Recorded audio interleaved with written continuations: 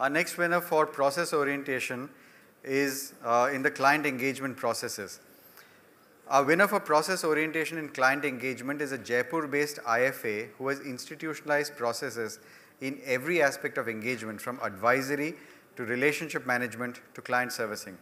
He follows a strategic and tactical asset allocation model, but with a difference.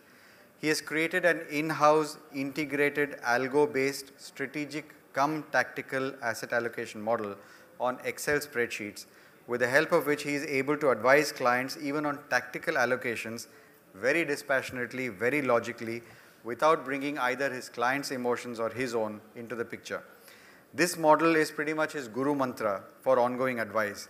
This is what he takes to every client every quarter and all discussions around the portfolio start with where he is today and where this model suggests he should be. He ensures that clients understand and buy into this concept upfront, which then avoids any issues in terms of ongoing implementation. He rates all his clients on a six point rating scale based on size and complexity of the portfolio. Six star clients need to be met twice a month, while one star clients need to be met annually. Actual engagement versus plan is what he tracks for all his clients every month to ensure that his firm is meeting every client exactly at the frequency required. He does not track business done in meetings. He only tracks the fact that interactions have taken place and action points, if any, on the portfolio have been uh, completed.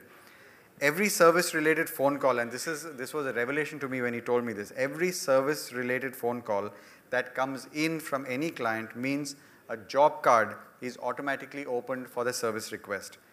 TATs for every service request are tagged to that job card on the basis of the list of desired TATs for every type of service request. Every day, he tracks all open job cards which are at or beyond TATs and personally dives into every overdue case to ensure speedy resolution. This kind of sharp process orientation on all aspects of client engagement has enabled him to grow a robust AUM of over 180 crores in Jaipur.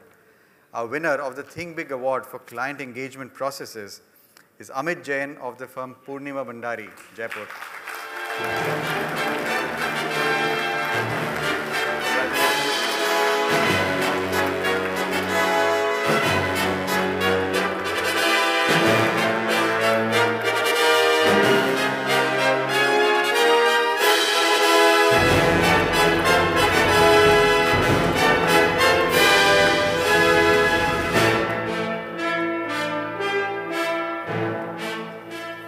Well done, Amit ji.